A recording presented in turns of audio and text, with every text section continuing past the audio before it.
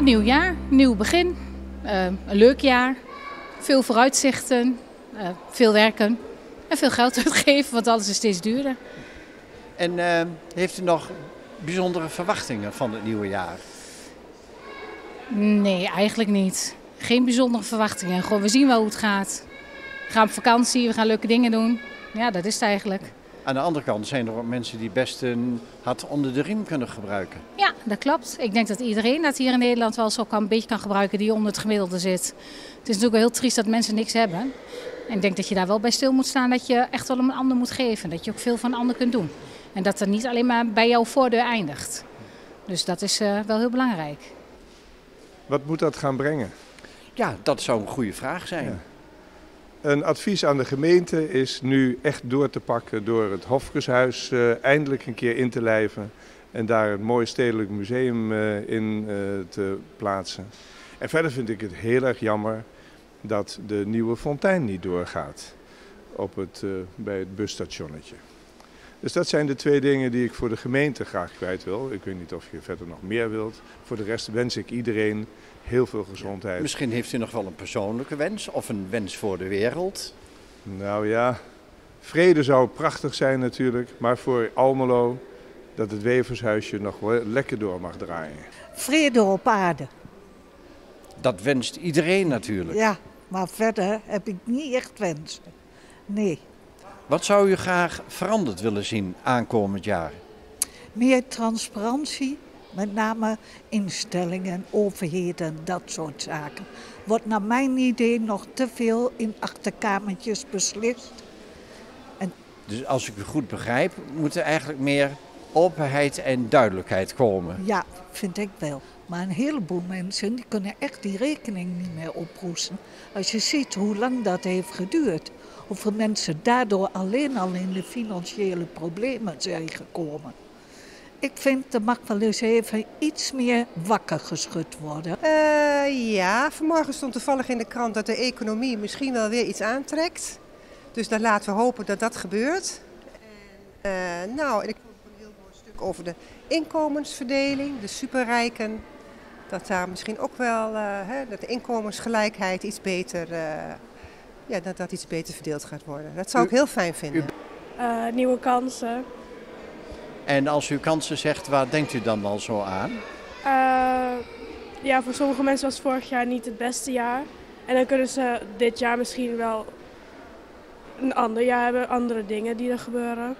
Ja, want heeft u zelf uh, persoonlijke wensen? Gewoon dat ik gezond blijf. Gezond, gelukkig met mijn familie.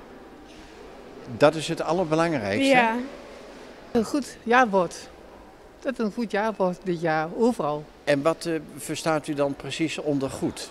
Dat alles, dat alles er niet verkeerd gaat gebeuren allemaal. Wat nou in Oekraïne, dat moet een keer afgelopen wezen. Allemaal, dat er gewoon vrede moet houden. Denkt u dat daar dit jaar een einde aan komt? Nee, dit jaar niet. Dat niet.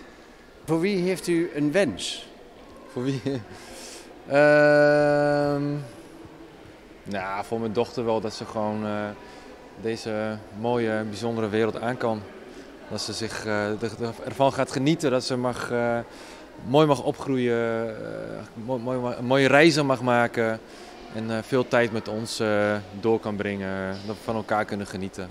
En dat ze misschien nog in de toekomst een hele lieve broertje of zusje mag krijgen. Dat we echt nog een beetje uit gaan bouwen. In de mag ik concluderen dat voor mij een positief gestemd persoon ja, staat? Zeker, ja hoor ja, een gelukkig man ben ik. Ik heb een hele lieve vriendin en uh, een, hele mooie dochter hebben we samen. En, uh, ik ben wel een gelukkig man hoor, absoluut waar.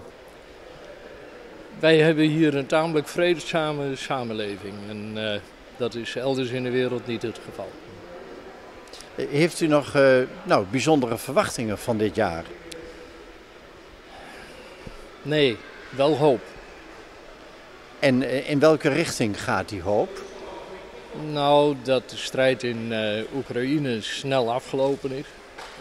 Dat mensen weer terug kunnen naar hun huizen, uh, als ze er nog zijn. Dat de wederopbouw weer gebeurt.